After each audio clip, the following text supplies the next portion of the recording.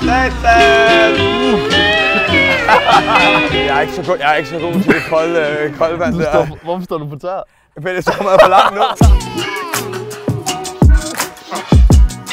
Jeg er jo ikke vant til at faktisk at være 20 år og så være en af de, de ældre i truppen. Det er nogle sindssygt øh, gode drenge, både, øh, både de ældre og de, de unge også. Så øh, ej, jeg synes, det har været, det har været en sindssygt god, to, øh, god tur indtil videre. Ja, altså, det er mand med de fleste kommentarer nogensinde om. Ja, jeg, jeg er god til at sige min mening, synes jeg.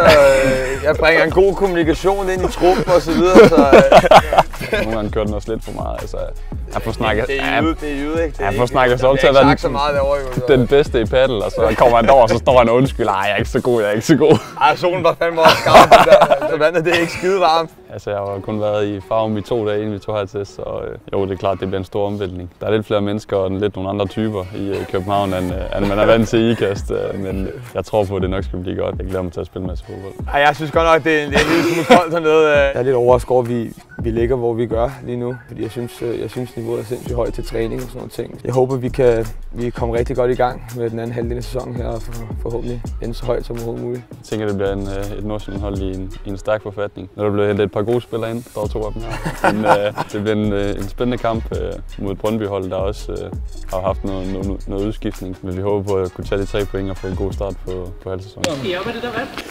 Ja, det tror jeg, vi skal. Skal vi ikke det? Oh. Ind og få varme.